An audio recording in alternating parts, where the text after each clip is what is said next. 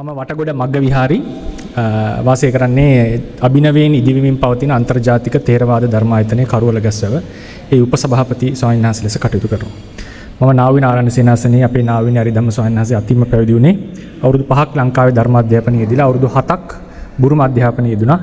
මාත් සමග සිටින මගේ ශිෂ්‍ය ශිෂ්‍ය කියන අදහස් කරන්නේ මහාන කරපු වර්තෙන් නෙවෙයි මගෙන් ඉගෙන ගත්ත අපිත් සමග හිටපු ස්වාමීන් වහන්සේලා 10 දෙනෙක් සමග මම බුරුමේ අධ්‍යාපනය ලැබලා තමයි දැන් ලංකාවට ඇවිල්ලා අවසර ස්වාමීන් වහන්සේලා මේකේ මේ පෙරවදනේ කොටස් තුනකට මම ආමන්ත්‍රණය කරනවා.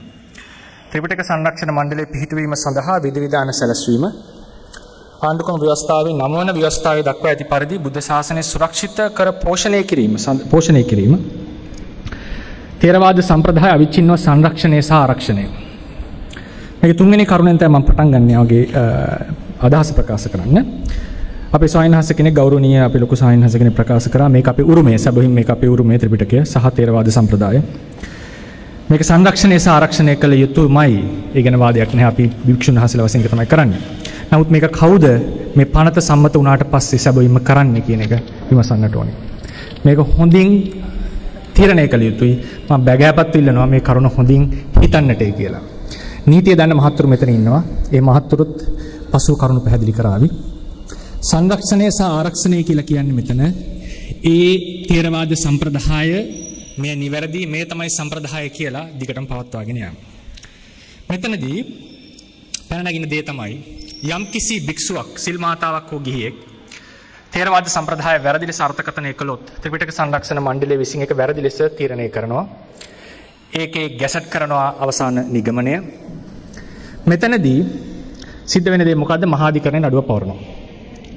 මහාධිකරණයේ නඩුවක් පැවරුවාට පස්සේ ලංකාවේ තියෙන දණ්ඩ නීති සංග්‍රහය සහ ව්‍යවස්ථාව අනුව යමෙකුට සිර දඬුවම් ලැබෙන්න යනවා නම් ඔහුට තියෙන මූලික අයිතිවාසිකමක් ඒ දඬුවමට විරුද්ධව තමන්ගේ නිර්දෝෂී භාවය ඉදිරිපත් කිරීම. මං හිතන්නේ ඒ අයිතිය කිසිම ආකාරයකින් වළක්වන්නට පුළුවන් කියලා ලංකාව ඇතුලේ ප්‍රජාතාන්ත්‍රික රාජ්‍යයක් ලෙස. මෙතන ඉන්නවා ජනාධිපති නීතිඥවරු එතුමාලා ඒ අදහස දක්වයි ඒකේ නිවැරදි වැරදි භාවය. ඒ කිසිසේත්ම කළ නොහැක්කක්. ඒ කරන්න හිතනවා නම් ඒක ඒක අපරාධයක් කියන හිතන එක පවා. ඒ අයිතිය මිනිස්සෙට තියෙනවා. If there is an imprisonment, you cannot prevent the appeal. මේක තමයි මට අද උදේ වැදගත් නීතිඥවරයෙක් කිව්වේ. සිර දනුවමක් ලැබෙන්න යනවා නම් අපීල් කිරීම තමන්ගේ නිර්දෝෂී භාවය ඉදිරිපත් කිරීමට ඇති ඉඩ වැසිය නොහැකි. එහෙමනම් ත්‍රිපිටක සංරක්ෂණ මණ්ඩලයෙන් දෙනවා මොහු වැරදිකරුවෙක් කියලා. වැරදි ලෙස ධර්මයේ ප්‍රචාරණය කරන ස්වාමීන් වහන්සේ චූදිතයා. ඒ ස්වාමීන් වහන්සේ බැරි වෙලා හරි අගෞරවනීය ස්වාමීන් වහන්සේ කිව්වොත් මම මේ කියපු දේමයි ත්‍රිපිටක සංරක්ෂණ මණ්ඩලයත් කියන්නේ කියලා. මොකද්ද ඇති වෙන తත්වය? දැන් දැන් හාන්දරනේ මේ සමාවෙන් දැන් අපි මේ ස්වාමීන් මේ සංරක්ෂණය පළවෙනි ඡේදය ගැන කතා කරලා ඉවර කරමු. එහෙමයි සර් මේ සංරක්ෂණය මම කතා කරන්නේ. තව එහාට තියෙන එහෙමයි සර් මේ සංරක්ෂණය මම ඉන්නේ. මේ සංරක්ෂණය සිද්ධ කරන්නේ කවුද? මම මට ප්‍රේම්බලම් එක වැදගත් වෙන්නේ. කවුද මේ සංරක්ෂණය සිද්ධ කරන්නේ? අවසානයේ සංරක්ෂණය සිද්ධ කරන්නේ ගිහි මහාධිකරණ විනිසුරුවරු. හේතුව මොකද? ධර්මයේ සියුම් ධර්මයේ සියුම් අදහස් තියෙනවා තේරුම් ගන්න අපහසු තැන් තියෙනවා. අපි කියනවා ඇසයි රූපයයි එකතු වෙලා චක්කු විඤ්ඤාණය ස්පර්ශය හට ගන්නවා වෙන වෙනම ධර්ම. සමහර කෙනෙක් කියනවා මේ තුන එකතු වෙලා දැකීම කියලා අලුත් දෙයක් හට ගන්නවා. මේක තමයි විපස්සනා කළ යුත්තේ. බාහිර රූපයේ සැබවීම දැනගන්නට බෑ. මෙහෙම අදහස් අද තියෙනවා. එතකොට මේ සියුම් අදහස් දෙකම අහපු සමහර ශ්‍රාවකයෝ අපිට කියනවා ස්වාමීන් වහන්සේ අපි දෙගොල්ලන්ගෙන් බණ අහනවා දෙගොල්ලන්ගෙන් බණ හොඳයි. ඒ කියන්නේ මිනිස්සුන්ට මේක තේරිලා නැහැ. මේ සියුම් තැන් තියෙනවා. දැන් මෙහෙම ප්‍රශ්නයක් ආපු වෙලාවක චූදිතෙක් කිව්වොත් මම කිව්වේ ත්‍රිපිටක සංරක්ෂණ සභාවේ අදහසමයි කියලා. ඒ අවසාන තීරණය දෙන්නේ කවුද? මේ සංරක්ෂණය සිද්ධ කරන්නේ කවුද? මේ සංරක්ෂණය සිද්ධ කරන්න වෙන්නේ ගිහි මහාධිකරණ විනිසුරුවරයෙක්ට. මේ ප්‍රියම්බලම් එකේ පෙරවදිනේ තියෙන ප්‍රශ්නයක් මං කියන්නේ. මේ සංරක්ෂණය කරන්නේ කෙසේද? ගිහි මහාධිකරණ විනිසුරු තේරවාද සම්ප්‍රදාය ගැන මන අත්දැකීමක් තියනවාද? ඔවුන්ට පුළුවන් ද තේරවාද සම්ප්‍රදාය අවිචින්න පවත්වාගෙන යන්න? එහෙමනම් දෙවැනි කරුණට මං එනවා පෙරවදනේ. ආණ්ඩුක්‍රම ව්‍යවස්ථාවේ නවවෙනි වගන්තිය අනුව බුද්ධ ශාසනය සුරක්ෂිත කොට පෝෂණය කිරීම. සුරක්ෂිත කොට පෝෂණය කිරීම යනු බුද්ධ ශාසනය තථාගතයන් වහන්සේගේ ධර්මයට අනුව පැවැත්වීමට විධිවිධාන සැලැස්වීමයි. මේකේ හැටියට ගිහි විනිසුරුවරුන් නම් අවසානයේ චූදිතයා වැරදි කරුවෙක්ද නිවැරදි කරුවෙක්ද කියන එක තීරණය කරන්න. ඔහුට පුළුවන් ඕනම් උපරිමාධිකරණ වලට ඉල්ලුම් කරන්නට. ඒතර උපරිමාධිකරණ වලිනුත් තීරණයක් දෙනවා මේක හරිද වැරදිද කියලා. ඒක වළක්වන්නට අපිට අයිතියක් නැහැ. ඒක ආණ්ඩුක්‍රම ව්‍යවස්ථාවෙන් අපිට ලැබෙන මූලික අයිතිවාසිකම. ඒක වළක්වන්නට බෑ. එහෙමනම් මේ බුද්ධ ශාසනය පෝෂණය කෙරෙන්නේ ගිහි මහාධිකරණ උපරිමාධිකරණ විනිසුරුවරුන් අතින්. මේක බුද්ධ ශාසනය පෝෂණය කිරීමක්ද නැද්ද මම දකින්නේ පෞද්ගලිකව බුද්ධ ශාසනය ගරා සිටීම. මේ පෙරවදනයි ප්‍රශ්නේ මට. මේ පෙරවදනයි මට ප්‍රශ්නේ. ත්‍රිපිටක සංරක්ෂණ මණ්ඩලය පිහිටවීම සඳහා විධිවිධාන සැලැස්වීම මේ පෙරවදන. මේ පෙරවදන එකිනෙකට පරස්පර විරෝධී. ත්‍රිපිටක සංරක්ෂණ මණ්ඩලයෙන් තීරණය අදින අපේ ගෞරවනීය ස්වාමීන් වහන්සේ ඉස්සෙල්ලා ප්‍රකාශ කරා ලස්සන ප්‍රකාශනයක්. තීන්දුවක් දුන්නා නම් රජුරු ඒක ක්‍රියාත්මක කරනවා. ස්වාමීන් වහන්සේ මේක රාජ්‍ය සමයක් නෙවෙයි. මේක ප්‍රජාතන්ත්‍රවාදී යුගයක්. රජ්ජුරුව ත්‍රිපිටක සංරක්ෂණය මණ්ඩලය කියපු පමණින් සිවුරු ඇරලා යවයි. නමුත් අද මහාධිකරණ මිනිසුරුවට ඒක කරන්නට බෑ. ඒක නඩුවක් යනවාමයි. ඒක මූලික අයිතිවාසිකමක්. මිනිහෙක්ව නිකන් හිර කරන්න බෑ අපිට. එහෙමනම් මේ ත්‍රිපිටක සංරක්ෂණ මණ්ඩලය පිටවීම සඳහා විධිවිධාන සැලැස්සුවද එහි අවසාන තීන්දුව යන්නේ මහාධිකරණ විනිසුරුවරුන්ට උන් නැවත අපීල් කරොත් උපරිමාධිකරණ විනිසුරුවරුන්ට අපි දන්නවා පල්ලෙහා අධිකරණ වලින් මහාධිකරණයෙන් වැඩිකරු වෙලා අභියාචනාධිකරණයෙන් වැඩිකරු වෙච්ච අය ශ්‍රේෂ්ඨාධිකරණයෙන් නිර්දෝෂී වෙච්ච නඩු තීන්දුව ලංකාවේ තියෙනවා එම නිසා මෙතන ත්‍රිපිටක සංරක්ෂණ මණ්ඩලයක් විධිවිධාන ඇති කරනවා ශාසනය ආරක්ෂා කිරීමට ත්‍රිපිටක සංරක්ෂණ මණ්ඩලය පිහිටනවා. නමුත් සැබවින්ම නියම ආරක්ෂණය හෝ නොකිරීම සිද්ධ වන්නේ අධිකරණයෙන්. ඒක වළක්වන්නට නම් ආණ්ඩුක්‍රම ව්‍යවස්ථාව විනාශ කළ යුතුයි. මම ගෞරවයෙන් ඉල්ලා සිටින අපේ ස්වාමීන් වහන්සේලාට මේ කරන්නේ ගිහි අධිකරණයකට ධර්ම විනය පිළිබඳ අවසාන තීන්දුව ලබා දීමට දෙයක් මම අවසන් කරනවා මගේ කතාව. එහෙමයි. ස්වාමීන් සංඝාධිකරණය කියන එක ගැන එහෙමයි ස්වාමීන් සංඝාධිකරණය කියන එකට මම එකඟයි ස්වාමීන් වහන්සේ පෞද්ගලිකව. ඒක මගේ පෞද්ගලික අදහස. පෞද්ගලික අදහස ස්වාමීන් වහන්සේ. මටත් ඕනේ ශාසනයේ දියුණුව දකින්න. සංඝාධිකරණයට මම එකඟයි. නමුත් මකුලෑවේ අපේ මම රාමන්නිකායේ ස්වාමීන් වහන්සේ කෙනෙක් මකුලෑවේ ලොකු ස්වාමීන් වහන්සේ මේ සම්බන්ධයෙන් සාකච්ඡාවක් යනකොට ඒ ලොකු ස්වාමීන් වහන්සේ කියපු දෙයක් තමයි සංඝාධිකරණය සම්මත කළ යුතුයයි ප්‍රකාශ කරපු වෙලාවේ අපි ස්වාමීන් වහන්සේ උන්වහන්සේ කියපු දෙයක් ආයෂ්මතුන් සංඝාධිකරණයක නියමාකාරයෙන් තීන්දුව తీරන ගැනීමට අපි සුදුසුද කියන ප්‍රශ්නය උන්වහන්සේ මගෙන් ඇහුවා. මම කිව්වා සංඝාධිකරණය හොඳයි නේද ස්වාමීන් වහන්සේ. ඒ වෙලාවේ උන්වහන්සේ අහපු ප්‍රශ්නයක් අපේ මහානායක ස්වාමීන් වහන්සේ අපිට තියනවද නියමාකාරයෙන් නඩු තීන්දුවක් දෙන්නට තරම් බුදුරජාණන් වහන්සේ යෝජනා කරපු සුදුසුකම් තියෙන භික්ෂුන් වහන්සේලා අපි ළඟ ඉන්නවද කියලා ප්‍රශ්නේ මගෙන් ඇහුවා. ඒ නිසා මම මේ ප්‍රශ්නෙත් සහිතව තමයි ඒක ගැන කල්පනා කරන්න අවශ්‍ය. මම අවසන් කරන්නම් උදාහරණ කතාවකින්. එක ස්වාමීන් වහන්සේ කෙනෙක් ඒ කියන ස්වාමීන් වහන්සේ තිස්ස කියන ස්වාමීන් වහන්සේ ධර්ම විකෘති කරනවා. ත්‍රිපිටක සංරක්ෂණ මණ්ඩලයෙන් තීන්දුව කරනවා මොහු වැරදි කියලා. සැබවින්ම මේ වැරදි. ඔහු මහාධිකරණයක නඩුවක් පවරනවා. මහාධිකරණයේ නඩුවේදී ඔහු කිව්වොත් මම කරපු ප්‍රකාශනයේ ත්‍රිපිටක සංරක්ෂණ මණ්ඩලයේ ප්‍රකාශනයමයි කියලා මහාධිකරණ විනිසුරුවරයාට වෙනවා ඒක විභාග කරන්න. ඒ වෙලාවේ ත්‍රිපිටක සංරක්ෂණ මණ්ඩලයට බෑ ඔහු වැරදි කියන්නේ. මොකද හේතුව ඔහු තර්ක කරන්නේ ත්‍රිපිටක සංරක්ෂණ මණ්ඩලයට විරුද්ධවයි. ඒක සාමාන්‍ය නීතියක්. සාමාන්‍ය සම්ප්‍රදාය, සාමාන්‍ය ස්වාධීන නීතිය. ඒ වෙලාවේදී ඒක වරදින්නට පුළුවන්. ත්‍රිපිටක සංරක්ෂණ මණ්ඩලයේ අදහස පරදින්නට පුළුවන් මහාධිකරණයේදී. ථේරවාදයේ පරදින්න ස්වාමීන් වහන්සේ. ඊට පස්සේ ඔහු සිරදනුවන් ලැබුවා කියලා හිතන්නකෝ. ඔහුට අයිතියක් තියෙනවා අපීල් කරන්න පුළුවන් ඉහළ උපරිම අධිකරණයකට. අභියාචනාධිකරණයට ශ්‍රේෂ්ඨාධිකරණයට. ශ්‍රේෂ්ඨාධිකරණයේදී බැරි වෙලා හරි ශ්‍රේෂ්ඨාධිකරණය තීන්දුවක් දෙන්නේ ස්වාමීන් වහන්සේ කරුණාකාරණා ගානක් හිතලා මූලික අයිතිවාසිකම් පවා හිතනවා. ඇයි අද අපිට ධර්ම විරෝධී භික්ෂුන් වහන්සේලා නඩු දාන්න බැරි මූලික අයිතිවාසිකම් භාෂණයේ නිදහස. භාෂණයේ නිදහස නිසා නඩු දාන්න බෑ කියන එක අපි හැමෝම දන්නවා. ඒ දැනට ඒක ක්‍රියාත්මක වෙන්නේ නැද්ද? තිස්ස භික්ෂුව සමවින්ම ථේරවාද සම්ප්‍රදාය අනු අනුවේ උල්ලංඝනය කරලා ත්‍රිපිටක සංරක්ෂණ සභාවෙන් වැරදි කියලා තීන්දුව වල අධිකරණයේ වැරදි කරුවක් නෙලා බැරි වෙලා හරි ශ්‍රේෂ්ඨාධිකරණයෙන් කිව්වොත් මොහුගේ මූලික අයිතිවාසිකම් ත්‍රිපිටක සංරක්ෂණ මණ්ඩලයෙන් කඩ කර ඇත කියලා අපේ ලංකාවේට යන පණිවිඩය කුමක්ද ස්වාමීන් වහන්සේ?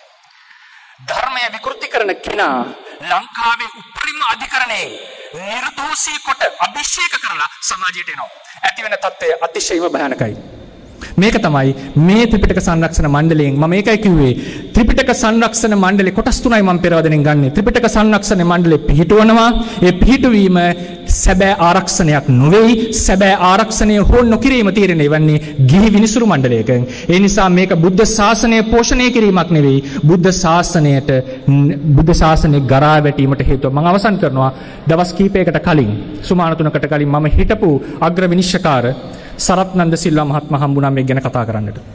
ඒ වෙලාවේ එතුමා මේ පනත අතට අරගෙන ප්‍රියම්බලම් එක විතරක් කියවුවා. කිව්වා ස්වාමීන් වහන්සේ මට පනත කියවන්නට ඕනේ නෑ.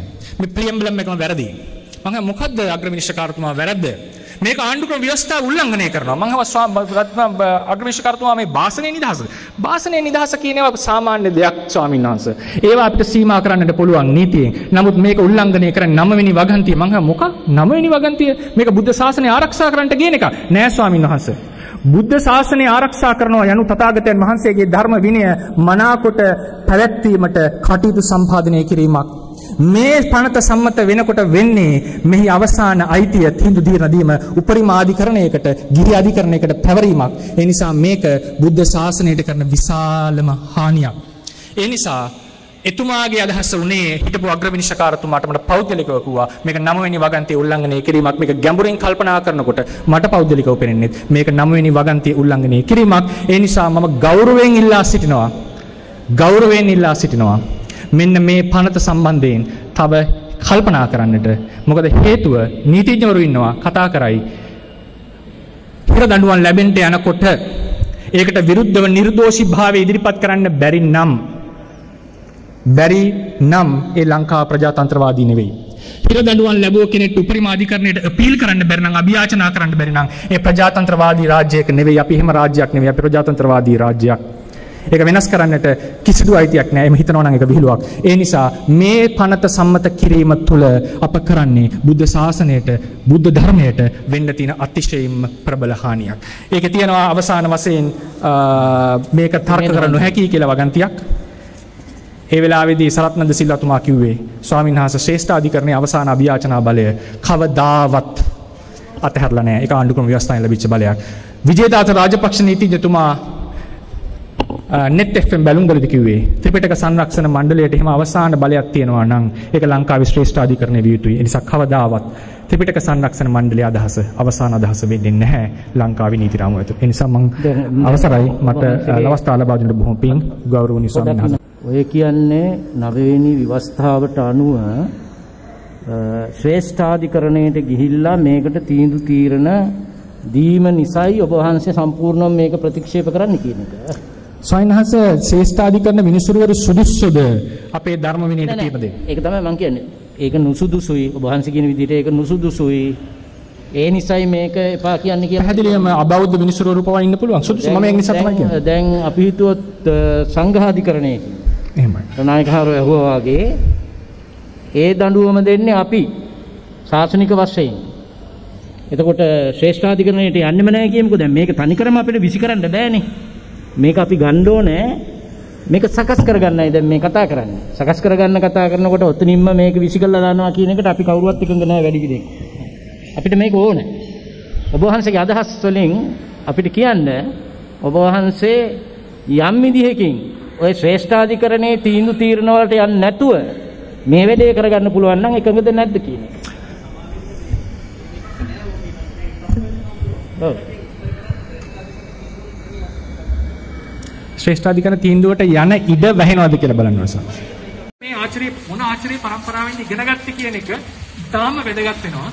ගුරු මේක යවනවා විජයබාහු රජුරන් කාලේ දක්වා මේ ආචාර්ය නායකමය ගෙනියන්නට පුළුවන්. තාම රාත්‍රී වාචනයේ තියෙනවා මේ. මේරුකාණ මහානායක සාන්නස්සලා උගන්වනවා. නමෝ තස්ස භගවතු අරහතෝ සම්මා සම්බුද්දස්ස කියන ගාථාව මාස 3ක් උගන්වනවා පෘතුගු කියලා නායකමේ. ඒ සියල්ලෙහි තියෙනවා. ඒ ඒ මෞනෙත් කිව්වේ එකයි ඒ වගේ වැඩපිළිවෙලක ප්‍රතිඵලයක් තමයි බුරුමේ තියෙන ශක්තිමත් දෙය. එතන අපි පිටක සංරක්ෂණ මණ්ඩලය අපි පිටුවා කියන පිටුවත් අපි කොහොමද මේකට එන භික්ෂුන් නියාමනය කරන්නේ? එතකොට මේකේ පැහැදිලිවම තියෙන මහානායක ස්වාමීන් වහන්සේලා තමයි නම් කරන්නේ. තමටම අස්සන ගහනවා. ඉතින් මහානායක ස්වාමීන් වහන්සේගේ හිතවත් කෙනෙක් දාන්න නැති වෙයිද අනාගතේ? අපිට වග කියන්නට පුළුවන්. අපි දන්නේ අපිට අපිට ආරංචි වෙනවා මහානායක දුර වලටත් එහෙම එහෙම සිද්ධ වෙනවා. ඉතින් ඒ වගේ අපි කතා ප්‍රවෘත්ති අහලා තියෙන යුගයක ත්‍රිපිටක සංරක්ෂණ සභාවට මහානායක සංඝට අගෞරවයක් නෙවෙයි අනාගතයේ පහළ වෙන කෙනෙක් තුතුච්චන හිතක් තමන්ගේ අගතියකින් මේකට පත්කිරීම ආදී සිද්ධ වෙන්නට පුළුවන්. ඒ නිසා මේ ත්‍රිපිටක සංරක්ෂණ මණ්ඩලයේ පිහිටවීම කෙසේ වෙතත් ඒකට සුදුස්සන් තෝරා ගැනීමේ වැඩපිළිවෙලක් ලංකාවේ තියෙනවා. ඒක රාජකීය පඬිතු විභාගය අපි දන්නවා මේක ලියපු සාහිත්‍යස්තර ඔක්කොම ඉන්නවා. පාලි සංස්කෘත සිංහල කියන විෂයන් තුනට ලොකු අවධානයක් තියෙනවා. අපේ ත්‍රිපිටක ත්‍රිපිටක අධ්‍යයන ක්‍රමයක් තියෙනවා. නමුත් මම බුරුමේ ඉගෙන ගත්තා. බුරුමේ ඉන්නකොට අපි දන්නවා බුරුමේ තියෙන දැන් මම උදාහරණයක් කියන සමස අට කතාව. දහ ක්‍රමයකට එක ඡේදයක් දහ ක්‍රමයකට උගන්වන ක්‍රම තියෙනවා. අපි එහෙ ගිය වෙලාව අපිට කියපු දේ තමයි ආයෂ්මතුන් මේව ලංකාවෙන් ආපු ක්‍රම. මේවා තමයි ටීකාවල ලියන ක්‍රම. දැන් කියලා දෙනවා මේ වචනවත් අහලා තිබුණේ නැහැ. අපි අපි නාවිනේ හරිදම සාන්නාස්ස ළඟ හිටපු ශිෂ්‍යයෝ. අපි අහලා තිබ්බත් නැහැ ඇත්තට කියන්නේ. එතකොට මගේ ඉන්න ශිෂ්‍යයෙක් ඉන්නවා ඒ ඉන්න අභිවංශ කියන විශිෂ්ටතම විභාගයේ සමර්ථ වෙච්ච කෙනෙක්. උන්වහන්සේ මට කිව්වා ස්වාමීන් වහන්සේ අපිට දෙනවා අටුවාවේ පාඩය නිර්වචනය කරන්න. ඒක නිර්වචනය කරන එකට උත්තරයක් ලියනකොට බොහෝ සෙයින් ටීකාවට සමාන උත්තරයක් අපිට ලියන්න පුළුවන්.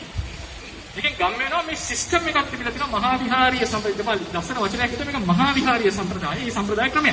ඉතින් මට කියන්නට ඕනේ ත්‍රිපිටක සංරක්ෂණ සභාවට භික්ෂූන් තෝරා ගැනීම කියන එක සුළුපටු කරුණක් නෙවෙයි. ඒක බුරුම ඇතුලේ තා විශේෂ විශිෂ්ට අන්දමින් තියෙනවා. ඒ ක්‍රමවේදය මුළු රටටම ඒකාත්මීය ලෙස තියෙනවා. මම දෙත් කිව්වේ ඒකයි. උඩ බුරුමේ, දකුණු බුරුමේ, නැගෙනහිර බුරුමේ, බටහිර බුරුමේ, මැද බුරුමේ ඒ විෂය ඉගෙන ගන්නකොට මේ තරම් දැනුමක් තියෙනවා කියන එකට මුළු රටම වග කියනවා සියලු ආරණ්‍යවල ස්වාමීන් වහන්සේලාකට වග කියනවා. මතිමතාන්තර තියෙන පුළුවන් ලංකාවේ බුරුමේ අතර.